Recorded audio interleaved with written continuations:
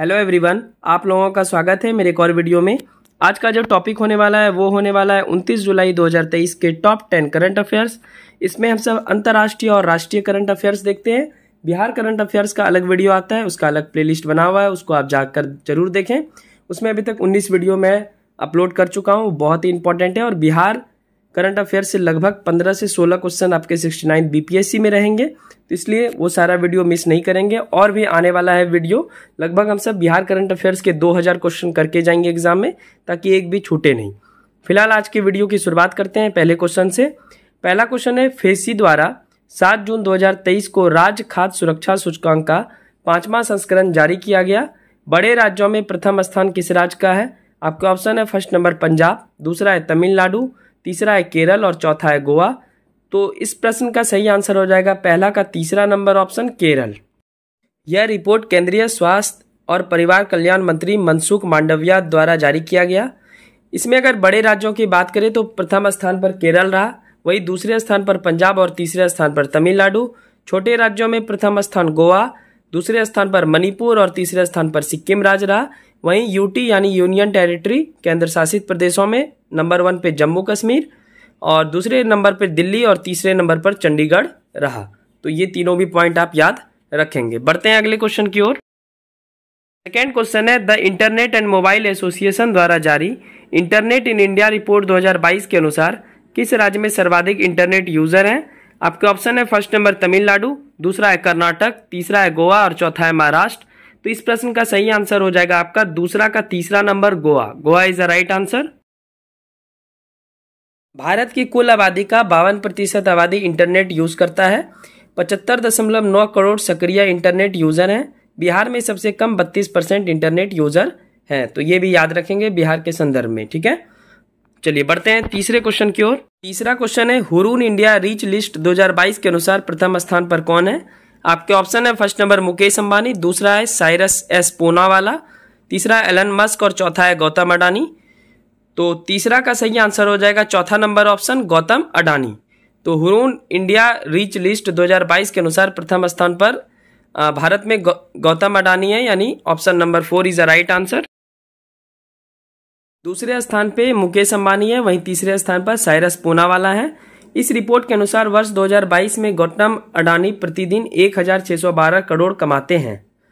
बढ़ते हैं अगले क्वेश्चन की ओर। क्वेश्चन नंबर फोर है, जर्मन वॉच के अनुसार जलवायु परिवर्तन प्रदर्शन सूचकांक 2023 में चौथे स्थान पर किसका स्थान है? आपके ऑप्शन है फ़र्स्ट नंबर डेनमार्क, दूसरा है आयरलैंड, तीसरा है जापान और चौथा है भारत।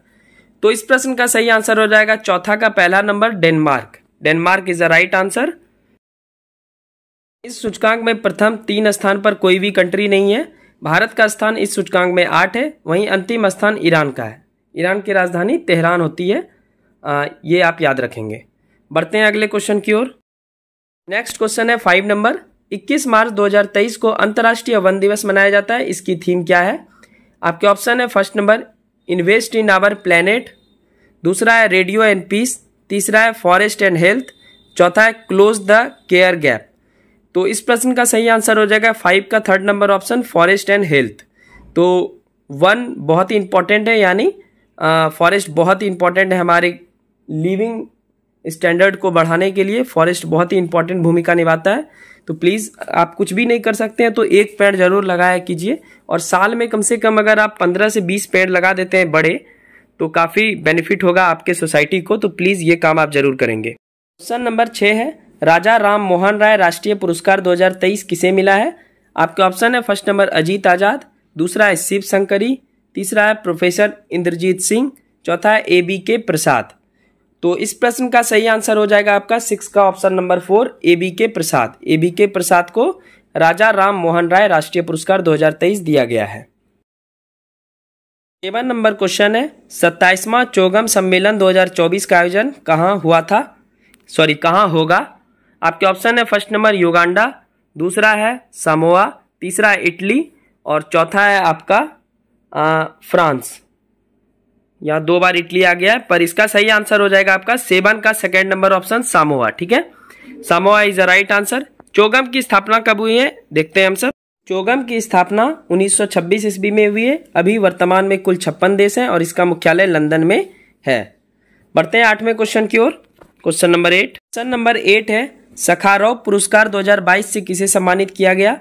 आपके ऑप्शन है फ़र्स्ट नंबर रूस के लोगों को, दूसरा है यूक्रेन के लोगों को, तीसरा है बलामिद्दीर पुतिन को, जो कि रूस के राष्ट्रपति हैं, चौथा है यूक्रेन के राष्ट्रपति, यानी बलामिद्दीर जेलेंस्की को।